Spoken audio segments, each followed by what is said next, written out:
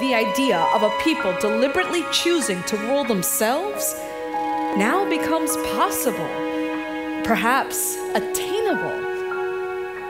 Perhaps.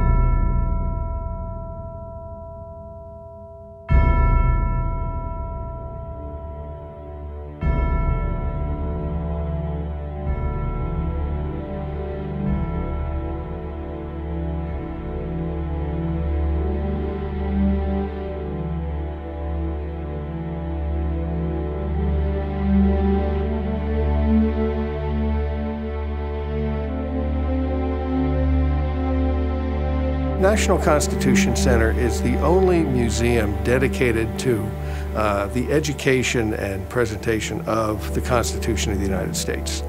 So we've been around for going on 14 years this July, and we've been doing just that. We have become the museum of we the people.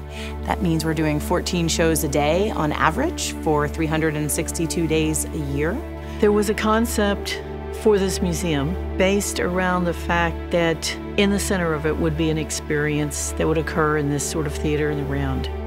We um, determined over a period of development that um, the show would be projected on every possible surface that existed. And there was a ton of technological um, wow factor going on in the space. There's two different projector models in Freedom Rising.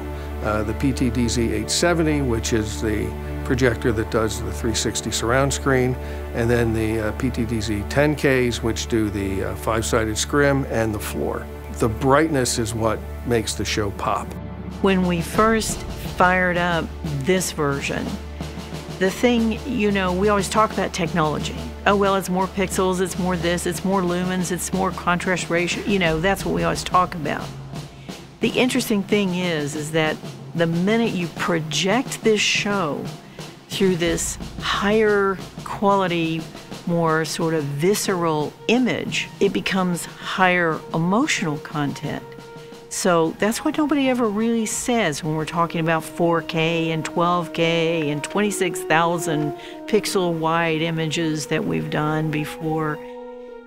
What really, the real payoff is the emotional impact on the viewer. As soon as we turned on the floor projection for the first time, CED came in and Tim Creed said, okay, let me show you the new floor projector. I felt like I could reach through the floor. And it had always been, the movement had always been great, the imagery, the filming was always great. But all of a sudden, there was a depth there and an intensity that hadn't been there before. And I instantly knew that it was going to change the way the show feels in the space. One of the things we like uh, a lot about the new projectors is the lamps last three times as long as the old ones. Uh, so we're, instead of changing lamps every three months, we're changing lamps 11 months in, maybe even going to 12. Using Panasonic lamps, which we always uh, specify that our clients should always use Panasonic replacement parts, that the lamps decay evenly and their color integrity decays evenly. Basically, we push a button. they turn on, uh, they set themselves up, and they run all day. And uh, it's really all done through the automation system, quite Disney-esque, where uh, we program it to come on at a certain time in the morning. The show goes through its startup procedures, checks everything out, go, the alignment checks itself, and uh, at the end of the day, program timeout, they shut off. And uh, other than changing lamps and being aware of filters, which we don't have to do for a while, it's really not a lot that we have to worry about.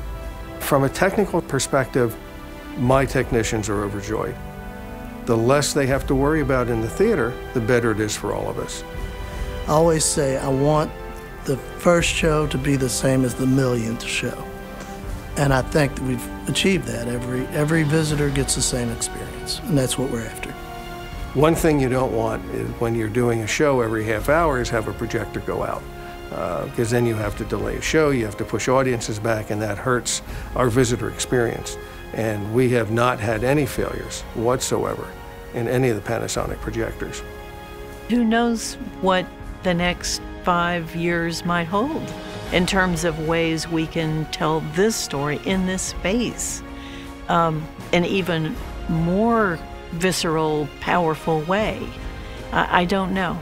I, I don't know where, where we would go with it other than to continue let, letting the story breathe through the production. It's that human connection that we're looking for. And this renovation is an investment in it continuing to run. I can't think of any major museum that I've done in the past 15 years that doesn't have Panasonic projectors. They're easy to, to use, they have the widest range of lensing available. Panasonic is my go to brand.